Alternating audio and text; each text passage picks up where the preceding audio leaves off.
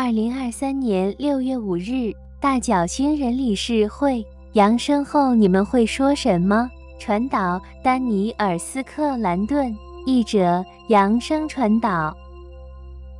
大家好，我们是大角星人理事会，很高兴与你们联系。我们一直在花时间从局限的束缚中释放自己，这些局限是我们处于当前的维度。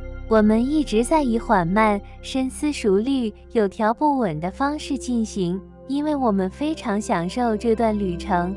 我们希望在放下一切让我们留在这个世界上的一切时，感受到最后一点释放方面。你们转变的方式是相似的，但也有所不同，因为大多数人并没有选择像我们一样有意识地脱掉他们的层。相反。你们中的许多人感到被困在自己的维度，或情感上，或生活的其他方面。我们理解这会是多么令人沮丧，因为我们日复一日，甚至片刻地见证着你们寻求挣脱。但是，如果你们每天都能安顿下来，并设定要享受旅程的意图，那么你们就可以拥抱为你们而来的一切。你们面对的每一个小挑战，都可以通过一个喜欢挑战的人的眼睛看到。如果你们享受成长，那么你们就会享受挑战。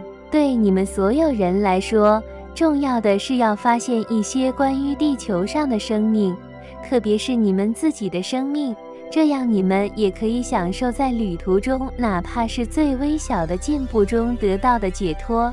当你们意识到你们已经安排好了一切，你们生活中的一切都是你们决定承担的事情时，这会有所帮助。如果你们能放下自己被困住、给困住或受到惩罚的想法，那么你们就会看到你们当前的生活经历中有多少适合你们。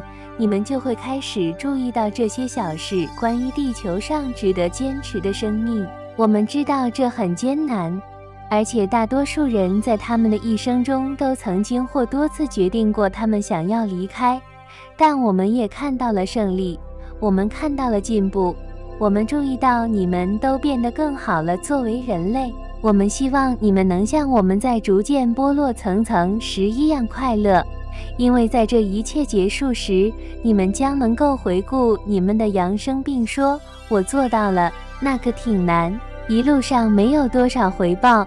但我坚持了下来，我做到了。一旦你们牢牢地扎根于第五维度，它就会让你们感觉非常好。我们是大角星人理事会，很高兴与大家沟通。二零二三年六月五日，光之银河联邦，你们可以显化传导 Crystal Energetic Light，译者扬声传导。今天我们有机会就一个新话题与你们交谈。我们要讨论的一个是多维的存在。你们听说过超越到第五维度，但如果不止第五维度会怎么样呢？你们内在有能力走得更高。一旦你们的内在有了光，就没有限制。你们的意识将继续寻求更高层次的扩展。不要将自己限制在第五维度。处于第五维度是一种可以快速显化你们的愿望的状态。你们看到它，你们想要它，你们得到它。现在想象一下，你们看到它，你们想要它，你们就是它。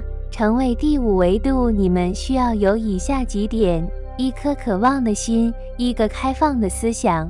你们需要允许奇迹出现在你们面前。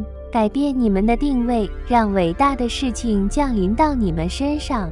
你们中的许多人不允许，你们不相信这是真的，这怎么可能呢？我没有创造那个，它只是出现了。但是如果我们告诉你们，你们确实创造了它，就像你们在日常物质现实中创造你们的体验一样，你们是创造大师，但你们忘记了这一点。我们想提醒你们，你们是强大的存在，能做的比你们知道的更多。你们看到你们想要的东西，你们向宇宙发出信号，把它带给我。它必须做出回应，它必须给你们带来你们正在寻找的东西。只有当你们不相信你们应得的时候，才会有延迟。我必须努力工作才能得到它，我必须牺牲。你们不需要，请把它放在一边。只要想一想，事情就会来找你们。把它放在你们的愿望泡泡里，让它成为现实。宇宙说：“太棒了，你们走了。永远不要附加任何形式的规定，只有在它会搅浑水的情况下，我才能得到这个。你们不会明白的。